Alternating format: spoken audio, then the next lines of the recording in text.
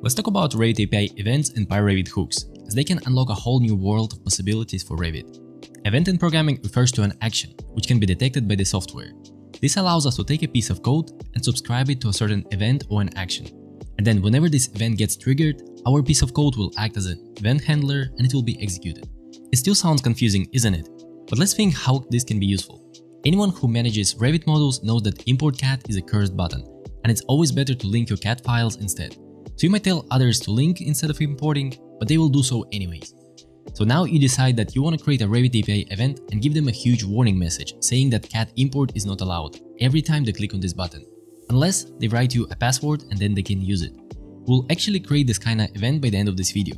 But before we begin, I want to let you know that you can grab my free ebook, The Beginner's Guide to Revit API. It's a 51 page ebook which will help you learn Revit API and provide a ton of reusable code snippets. Link will be somewhere in the description. Now, let's go back to the events and talk about what kind of event types are available to us. There are four types of events in Revit API. There are database events, which monitor your projects. You can find them under application class. Then there are user interface events, which monitor certain UI actions. And you can find these under UI application class. Then the next we have command binding events. They allow us to monitor certain buttons in Revit and do something when they're triggered. For example, we can monitor import CAD button and do something when it's clicked. And lastly, there is iUpdater, which can monitor changes in the project and piggyback during the change to do something extra. The iUpdater is not technically an event, but it has similar behavior in terms of how it's being used. While there are lots of different events, in this lesson we'll work with the command binding events, because I want to subscribe to an import CAD command and show a warning message to the users when they click on it. So we'll focus on that, and if you want me to cover any other types of events, comment down below which one you wanna hear about and how you wanna use it. Alright, let's talk about how do we subscribe to an event. There are two paths to do them. Firstly, we can create PyRevit hook, which is much simpler and better way to create your event handlers. Or we could write a code which will be an event handler and then subscribe it to an event manually, so it gets executed when it's triggered. Alright, let's begin with the PyRevit hooks, as they are very simple to work with. First of all, we need to open our data extension folder, and then we're gonna create a hooks folder in here. If you're new to PyRevit, I will also leave a link in the description on how to create PyRevit extension yourself. It's fairly easy, so don't worry. Now, inside this hooks folder, we can create a few Python files for different events, and PyRevit will know which one is which by their names. And for that we need to reference PyRevit developer documentation, so you know where to find the right names. So let's go and have a look inside PyRevit's developer documentation. Go to Google and type PyRevit dev docs, you'll find this Notion page, developers documentation. Click on it I know there are lots of different pages here, but we will only focus on the ones that are helpful for hooks. First of all, you can see here, there is create your first hook. I'm gonna open it. And if we're gonna scroll down, we're also gonna see anatomy of hook scripts. We're also gonna open it. And lastly, there is this extension hooks. Let's open it as well. And we're gonna start from top. First one tells you how to create your first hook. In here, this little tutorial, it tells you that you need to create a hooks folder inside of your Dart extension and in this case, they show you how to create view activated hook. Let's actually take and try it as well. I'm gonna copy this name, view activated. I'm gonna come back to the hooks folder, and I'm gonna rename this file like this. Now, PyRevit will know that the code inside this file is gonna be related to view activated hook. Let's go back in here, I'm gonna scroll through, and you will see that there is also a code snippet right here. It's very simple. It's gonna get PyRevit forms, it's gonna get execution parameters, and then it's gonna get the current active view from the event and display its name. We're gonna copy this whole thing and place right here. Now let's go to Revit and try it out. First of all, go to PyRevit and reload your PyRevit extension. Right, now when it's reloaded, I can go and try to open a new view. Whenever I'm gonna do this, you can see I get this message. It gives me the view name of this, because we created a hook which will display the view name whenever we change it. Let's open another view, and you see we instantly get another message. So this is how hooks work we're gonna come to our hooks. In this case, I don't want this hook to be activated, so I'm just gonna put it in the folder. I'm gonna call it archive. I'm gonna drop it there. Now let's have a look what happens in Revit. If I'm gonna change my view, just gonna tell me cannot find target file, maybe deleted. This is because we have moved our hook. We can just reload PyRevit and then it's gonna be fine. Now let's come back. And here we can scroll through, it gives you a little bit more information about what's going on. And then anatomy of hook scripts. Let's go in there. And here we can scroll through. There are two ways to get your sender and arguments, and this will be useful to get our document and different elements and so on. Now, If you scroll through, you can read a little bit more information here, but we're gonna go straight to the extension hooks, and this is where you can find all the names for your PyRevit hooks. In this column, you can see there is hook script name. This is how we need to name our Python files in the hooks folder. And on the right, it tells you to which event is gonna subscribe. Because in here you can see there is application document close, application document created, application document printed. Then there are also a few UI application idling, application closing, dialog box showing, file exported, and so on. There are a bunch of different events, and we just need to choose the right one and take the same name. In our case, we want to create event for the command. So we're gonna scroll down, and you'll notice that there is this three. There is command before execution, command can execute, and command execute. In the third column, you see some description. It tells you that it's gonna execute before original command is executed, execute when Revit needs to know whether a tool is available, and also override the normal function of the tool. In our case, we would want to use this one, command before execute. And notice in here there is CMD ID. We need to find our command ID right here in the, in the square brackets. For example, we can name it command before execution ID in place component. And you all guessed it, it's when you create in place component. So now we have a question. How do we find this ID? There are multiple different ways. Some people even look in their keyboard shortcuts, some people look in journals, but there are two much simpler ways. Alright, now let's go to Revit, then go to PyRevit tab. Right here you will see a SPY pull-down menu. Then click on List Elements. And in here you'll notice there is System Postable Commands. Click on it, and it's gonna print you all available postable commands in here. There are definitely hundreds of them, if not thousands, and you can look in here. At first it has the some human name, then ID that we actually need of this command, and this is what we're gonna write in these square brackets, then ID, which I don't even know where it's supposed to be used. From here, we can click on this button right here to open in a browser. And this will allow us to make Ctrl F and look for import CAD. I can see it right here and the name is ID file import. So I'm gonna copy this one. Alternatively, we could also get it with a code. Let's go to add-ins tab and open our Revit Python shell. In here, I'm just gonna paste this code. First of all, we need to import UI module. Then we can get our Revit command ID, which is an actual class, by using lookup postable command ID. And we're gonna use postable command enumeration, and we're gonna get one of its values. And you can see that this postable command has all these values that we can think of in Revit API documentation. And in here, I'm just gonna print this element and also the name of this element. I'm gonna click on run. And you can see that I'm getting element of the type Revit command ID. And in this case, it has a name of ID file import. I can also paste this code, and this is the part from the PyRevit script that I showed you earlier. I'm gonna print it. It's gonna print all the names of the postable commands and their IDs, which you can use to actually name your PyRevit hook. Alright, let's go back on track.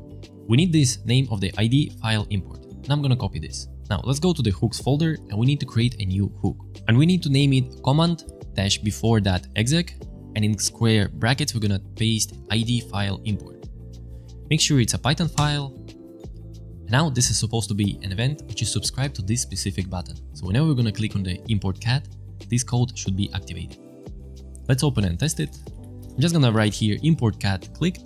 Now we're gonna go to Revit for the first time, we need to reload PyRevit, and then after that, we can make any changes without even reloading it. This is why PyRevit hooks are so great. Alright, now let's click on the insert, and we're gonna click on import CAD.